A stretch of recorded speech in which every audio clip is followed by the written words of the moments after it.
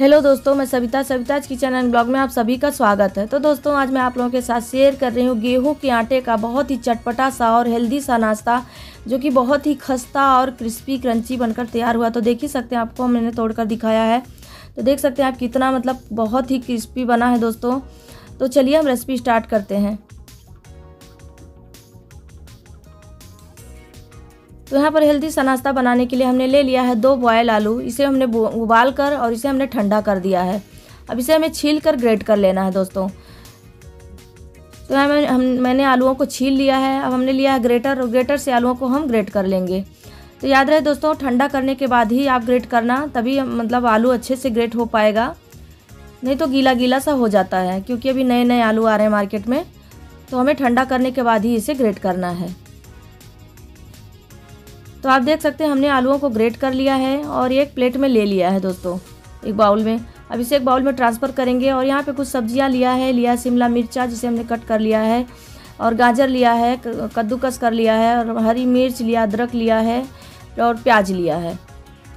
तो हम आलू को एक बाउल में ट्रांसफ़र करेंगे और सारी सब्जियों को भी हम एक साथ ट्रांसफ़र कर लेंगे। तो आप मिर्ची दोस्तों अपने हिसाब से डालना, जैसा आपके बच्चे खाते हो या आप लोग खाते हो, उस हिसाब से आप मिर्ची डालना। क्योंकि आप बच्चे के लिए बना रहे हैं तो तीखा कम ही बनाइए। और यहाँ पे मैंने डाल दिया हरा धनिया और चिली फ्लेक्स डाल दिया दोस्तों, और तिल डाल दिया थोड़ा सा थोड़ा सा हमने डाल दिया है कलौजी, और इसमें डाल देंगे स्वादानुसार नमक, हल्दी पाउडर डाल देंगे थोड़ा सा गरम मसाला डाल देंगे, और इसमें डाल देंगे लाल मिर्च पाउडर और चाट मसाला। तो चाट मसाला की जगह पे दोस्तों आप नींबू का रस या ड्राई मैंगो पाउडर भी डाल सकते हैं। अब इसे हम मिक्स कर लेंगे। तो स्टफिन ना हमारा बहुत ही चटपटा बनकर तैयार होगा दोस्तों। तो आप देख सकते हैं, हमने यहाँ पे मिक्स कर लिया है। अब इसे हम रख देंगे, अब हम आटा लगा लेंगे। तो आटा लगाने के लिए हमने एक कप गेहूँ का आटा ले लिया, आप देख सकते हैं, एक बाउल में। अब इसमें हम डाल देंगे स्वादानुसार नमक, क्योंकि नमक स्टफिन में भी रहेगा तो उस हिसाब से हमें नमक डालना है। और यहाँ पे अजवाइन ले लिया है, अजवाइन को हाथों से क्रश कर देंगे तो इससे अच्छा फ्लेवर हो जाता है। और इसमें हम डाल देंगे दो चम्मच तेल। तो तेल के जगह पे आप घी भी डाल सकते हैं, हमने तेल यूज़ किया है दोस्तों। अब इसे हम अच्छे से मिक्स करेंगे। ताकि मतलब ये हमारा आटा जो है खस्ता बने। जैसे आप कचौड़ी और समोसा का आटा बनाते हैं ना, वैसे ही हमें बनाना है इसका आटा। जब बैंडिंग होने लगेगा बॉल जैसा बनने लगेगा मुट्ठी तो समझ लीजिए कि हमारा आटा तैयार हो गया, खस्ता हो गया है।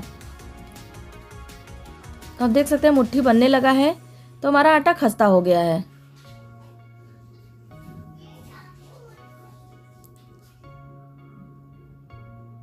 हाँ तो देख सकते हैं आप आटा हमारा तैयार हो चुका है। अब हम इसमें धीरे धीरे पानी डालते हुए इसका हम डो बनाएँगे।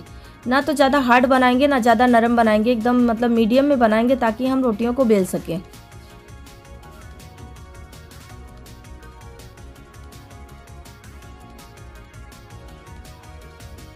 तो यहाँ पे हमारा आटा हो चुका है रेडी अब इसे हम रख देंगे दस मिनट के लिए रेस्ट पे। तब तक हम एक घोल बना लेंगे आटे का। अब इसे हम रेस्ट पर रख देंगे। और यहाँ पे मैंने ले लिया है एक बाउल। बाउल में डालेंगे दो चम्मच गेहूँ का आटा और एक चम्मच हम डालेंगे सूजी, जिसे हम रवा बोलते हैं। अब इसमें डालेंगे हरा धनिया और हरा लहसुन डाल रहे हैं। हरा लहसुन की जगह पे आप दोस्तों हरा प्याज भी डाल सकते हैं, पालक डाल सकते हैं जो आपके पास अवेलेबल है। और इसमें हम डाल देंगे तिल और कलौजी डाल देंगे। और इसमें डाल देंगे चिली फ्लेक्स, नमक डाल देंगे। हल्दी पाउडर डाल देंगे और पानी से इसका हम एक पतला सा घोल बना लेंगे। ज़्यादा गाढ़ा घोल नहीं बनाना है दोस्तों, हमें पतला सा ही घोल बनाना है।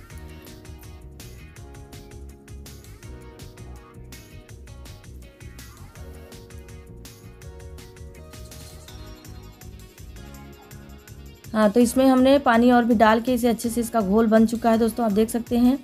इसी तरह से हमें इसका घोल रेडी करना है, ज़्यादा मतलब गाढ़ा नहीं रखना है। तो हमारा घोल रेडी हो चुका है। अब हम चकला ले लिए हैं। चकले पे लेंगे एक लोई आटे की, जिसका हमें रोटी तैयार करना है बड़े साइज़ का। जैसे आप रोटी बेलते हैं ना, वैसे ही हमें आटा डस्ट करके लोई पे और एक रोटी बेल लेना है।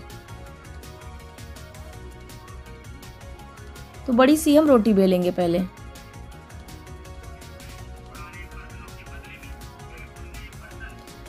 अब हम इसमें स्टफिन डालेंगे। तो स्टफिन दोस्तों अच्छे से भरना है, तभी हमारा नाश्ता अच्छा बनकर तैयार होगा और अच्छा लगेगा खाने में दोस्तों। तो आप देख सकते हैं, हमने स्टफिन भर लिया है। अब हम दोनों साइड से इसे फोल्ड करेंगे। तो एक साइड से इस तरह से फोल्ड करेंगे और ये दूसरे साइड का उठा के उसके ऊपर से हम अच्छे से दबा देंगे दोस्तों। तो आप देख सकते हैं, हमने इसे दबा दिया है। इस तरह से हमें दोनों साइड से दबा देना है और साइड साइड का ना इसे कट कर देना है दोस्तों।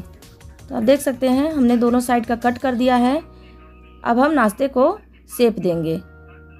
तो आप देख सकते हैं, इसी तरह से हम लंबे लंबे सेप में इसे काटेंगे दोस्तों। बहुत ही टेस्टी और बहुत ही क्रिस्पी नाश्ता बनकर तैयार होगा दोस्तों। बहुत ही चटपटा और साथ में हेल्दी तो होता ही है दोस्तों, क्योंकि गेहूँ के आटे का है तो हेल्दी तो रहेगा ही। और यहाँ पे देख सकते हैं स्टफिन बिल्कुल इसका निकलेगा नहीं जब हम इसे फ्राई करेंगे। अब हम दूसरी दूसरा रोटी भी बनाकर इसी तरह से हम नाश्ता तैयार कर लेंगे। तो सारा जितना मैंने आटा बनाया है मतलब लगाया था आटा, उतना हम सारे का हम नाश्ता बनाकर रेडी कर लेंगे पहले। तो इसी तरह से हमें दूसरे रोटी में भी स्टफिन भरना है और नाश्ता रेडी करना है।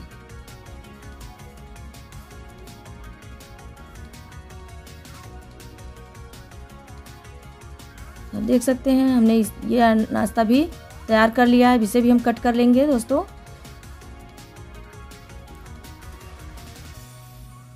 तो दोस्तों, अचानक से अगर आपके घर में मेहमान आ जाता है या बच्चों का खाने का मन कर रहा है, आपको ही छोटी मोटी भूख लग रही है शाम की तो आप इसे फटाफट बनाकर खा सकते हैं।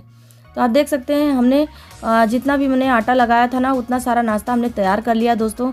अब हमने कढ़ाई रख दिया था पहले से तेल गर्म होने के लिए तो आप देख सकते हैं, हाथ लगा के हमने देखा तो तेल हमारा गर्म हो चुका है। अब यहाँ पे हमने घोल जो तैयार किया था, उसमें हम एक एक नाश्ता करके डीप करेंगे और तेल में डालते जाएँगे। तो आप देख सकते हैं, इसी तरह से हम फॉक के स्पून से, फॉक की मदद से हम नाश्ते को डिप करते और तेल में डालते हुए जाएँगे दोस्तों। तो जितना एक बार में आया है, उतना नाश्ता हमने डाल दिया है तेल में।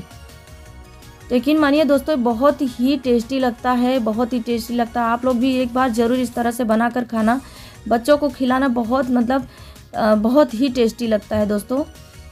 तो आप देख सकते हैं, हमने एक साइड से क्रिस्पी हो चुका था तो हमने इसे पलट दिया है।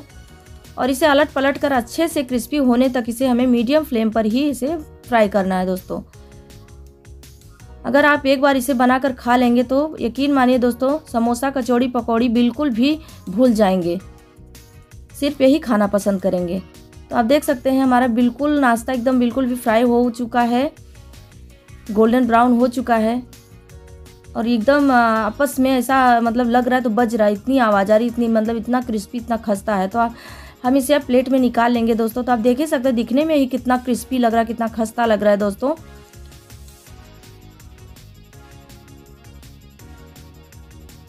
तो अब दूसरा बैच भी इसी तरह से हम रेडी कर लेंगे।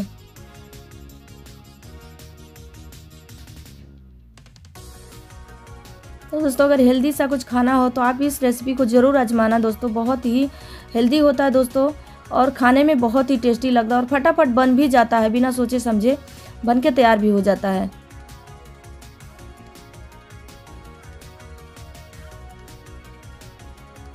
तो दूसरा बैच भी हमारा तैयार हो चुका है दोस्तों, आप देख रहे हैं कितना कलरफुल लग रहा है, कितना मतलब गोल्डन ब्राउन एकदम एम्मी एम्मी सा और खुशबू बहुत अच्छी आ रही है इसमें से दोस्तों।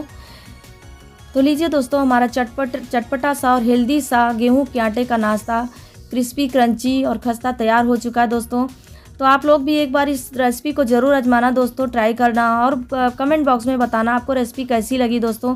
तो आप इसे अपने मनपसंद चटनी के साथ खा सकते हैं। तो आपको वीडियो कैसी लगी कमेंट बॉक्स में बताना दोस्तों और लाइक सब्सक्राइब ज़रूर करना। तो अब मिलते हैं अगली वीडियो